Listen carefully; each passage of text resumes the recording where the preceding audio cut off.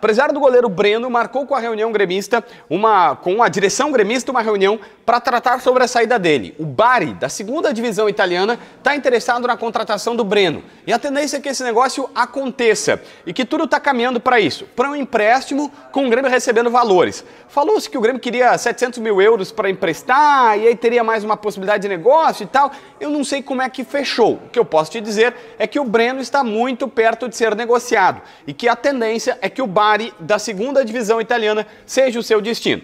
Mas se ele está saindo, o Grêmio ficaria só com o Gabriel Grando, Chapecó, ou o, e o Felipe Scheibik, que é um goleiro muito bom das categorias de base. Eu até gosto do Scheibik, tá? Eu já vi ele jogar e gostei dele mas que não tem experiência. O que, que o Grêmio está fazendo? Trazendo um goleiro um pouquinho mais afirmado, que já deu uma experimentada e que já olhou. Estou falando do Kaique, um goleiro de 26 anos, formado na base do Vitória, com passagem pela seleção brasileira de base e que estava jogando no Ipiranga de Erechim. Jogou no Campeonato Gaúcho, foi semifinalista, eh, defendeu pênaltis, foi um cara, se não me engano, ele defendeu o pênalti do Soares e ele foi um cara de destaque. Caiu nos pênaltis para o Grêmio na semifinal do Gauchão, mas foi muito bem. E o Grêmio já há um bom tempo observava ele. Como estava só com Grando, Chapecó, e precisava de mais um, a partir de então foi no Kaique que está comprando esse jogador. Ele vai vir definitivo para o Grêmio.